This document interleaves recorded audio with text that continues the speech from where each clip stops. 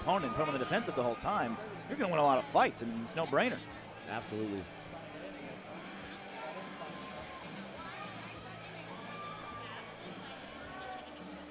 This is a fight I'm actually I'm actually pretty interested in. Um, Terrion Ware and Bobby Sanchez. Yep.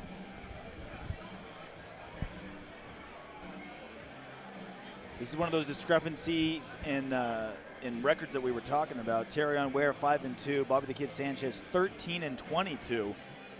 Big, you know, big experience difference. Obviously, Sanchez with the losing record, Ware with the winning record. Which is better in your mind, the five and two or the thirteen and twenty-two with all that experience? You know, it's it's tough because the 13 and 22 guy is not afraid of anybody. You Yeah. know, and obviously, I'll, I'll tell you from experience. I have a history with Bobby Sanchez. You know, we fought right here in the in the Bamma USA That's cage, right. and you know, and I I believe that I have a very high level wrestling, and Bobby took me down. So it's going to be interesting to see how Terrion as a striker can, can can deal with that. Not only deal with it, deal with it a guy who is confident to go up on any caliber opponent in the world. Yeah, Bobby the Kid Sanchez could very well appear in a Marvel Comics superhero movie taking on the Hulk or Captain America. He'll fight anybody. Tomorrow, today, he'll do it on any Yeah, time. he's a very game. He is the definition of what a fighter is. He really is a tough guy. He takes on challenges. I think sometimes to the detriment of his record, you're seeing where he has stepped up because somebody needed somebody who was skilled enough and capable to take so and so on, and he's the guy. He's like, yeah, I'll do it. Absolutely. I'll do it. You know, I've trained with both these guys also. So this is going to be interesting. You know, Terrion is a very good striker. Bobby's a very good wrestler. So um, it's going to be interesting to see who comes forward with their game plan. I know Bobby is now training over at Millennia Jiu-Jitsu. So uh, if that's the case, hopefully we'll see, you know, some uh, improved jiu-jitsu and striking in his game because, you know, they have a lot of talented guys coming out of that gym also. Yeah, I'm a fan of Millennia as well. There's a lot of talent between striking and grappling and everything. They have a, a, a full bag of, of deep talent to tap into. You can't have a, a fight promotion in Southern California not have some Millennia, Millennia MMA guys on there. There's so many of them. Yeah, and they bring them everywhere too. I've done shows in Florida, and there were guys from Millennia on the card because you knew you were getting quality athletes who were prepared. You see, there were uh, the whole crew in the corner with Bobby, and it's good company. Batiste Mansour there. See, uh, Ro- Funny to see Batiste on camera. Usually, yeah, and Romero. Usually, Romier, Batiste is texting veteran. us from somewhere else when he's watching the shows. But now he's here tonight. I don't think we're gonna get any text in this fight. you know, one thing we're going to know about both these guys is that they're both coming to fight. You know, Bobby Bobby has a lot of experience. Terrion showed in his fight against um, uh, Jared Papazian that he's very game. You know, he's he's coming to fight also. So Yeah. um, this has potential to be a very exciting fight to see who, is, like I said, is is bringing their game Let's get the to action the started. table Our the next other one bout does. is a catchweight fight. Referee in charge, Mike Bell. Introducing first, fighting out of the blue corner. His official weight, 135 and one quarter pounds. Fighting out of Systems Training Center. Please welcome from Los Angeles, California, Terrion Flash Ware. And now let's welcome his opponent across the cage in the red corner. His official weight, 138 pounds. Fighting out of Millennia MMA and 10th Planet. Let's welcome from Riverside, California, Bobby the Kid Sanchez.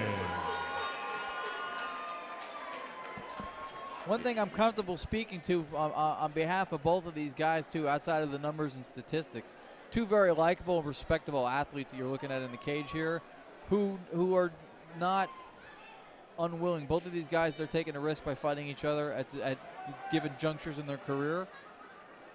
So we should see some fireworks in this one. First round, this one's scheduled for three five-minute rounds Three fives.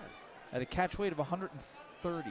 Yeah, for you out of state watch, you know, viewers out there, California has the opportunity to do three three-minute rounds. Not every state has that option. Right. People wonder, wow, what's, what's this three threes you're talking about? California is one of one of the few states that lets you do three threes. I guess we're just, we're just extra lazy out here. I don't know if that's what it is. Yeah, or there's a union involved, possibly. Bobby the Kid Sanchez, white with black trim. The black trunk with some red and white trim. That's Terrion Flash Ware. Both really, like I said, nice guys. You see Terry. Oh, and a heck again. That might be it. And that is it right away. Terrion showing why they call him the Flash Ware. Sanchez was faking that shot the entire time. Ware timed it. I don't know if it was a shin or the knee that connected on Sanchez, but Ware put him away early in the first. Best knockout of the night so far. Yeah, that was well placed. He, he, he knew the shot was coming, was timing it, and it, it was well, well placed. Great job by Terrion. See the replay right here. Yep, it was a kick right there on the chin. and a couple of hammer fists to follow. I mean, I, I really, I, I feel like feints aren't used enough in mixed martial arts, whether it be striking or, or, or faking a takedown. But Sanchez wasn't really faking; he was kind of just giving away his game plan. He knew he was going to be shooting in there, and Ware just timed it perfectly and caught him flush on the temple. Funny, right at uh, right at the culmination of the style difference you were talking about, Sanchez maybe wanting to get him to the ground, having a, a- probably maybe the superior wrestling pedigree, Ware being the striker, and, and upon those two styles clashing, Ware finished it.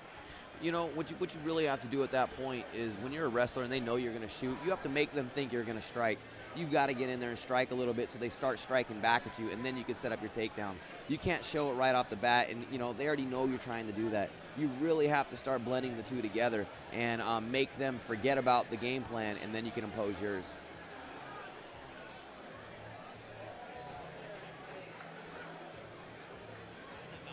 The friend, trainer, and fellow comedian as well, Ian Harris, there in the, in the corner of Ware. Harris is a comedian? Or are you just being sarcastic? No, he's Really? he's an actual comedian. Uh, trains fighters and he's a comedian. He's one of us rare few who was walked in both worlds. Very actually very funny, very uh, smart style of stand-up comedy. If you go to a, I believe it's Apocalypse Comedy Tour, you can find it on YouTube if you look if you look up Ian Harris. There's a promo for the for the video. Really really funny. Ladies and gentlemen, this bout ends at 48 seconds of round number one. Referee Mike Bell stops this bout for your winner by knockout, Terrion Flash Ware. If there's a good side to this for Sanchez, he didn't get hurt. It was over fast. Well, But- there's probably a couple brain cells that may be uh, made have slipped through the cracks, but that was, uh, yeah, you're right. He's walking around, looks like he's in good spirits. Yeah. Um, he, he was up right away. That's always good to see. You're watching Bamma USA's Bad Beat number nine. We're at the Commerce Casino, largest poker room in the world. I That can- is a fact. I can hear the chips calling my name from all the way over here on the second floor.